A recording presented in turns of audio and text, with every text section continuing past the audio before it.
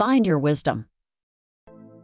Wisdom is a trait often ascribed to the elderly. We see it in our popular media, the wise old. Mentor who trains the hero in our favorite movies, or the grandmotherly witch who guides the story in our favorite book. But you do not have to wait for wisdom. In fact, you can actually train yourself to be wise right now regardless of your age or life experiences. Being wise includes three things. Empathy, caring for those around us. You can practice this by seeking out those who need. Company and offering your time. Knowledge, knowing things about the world.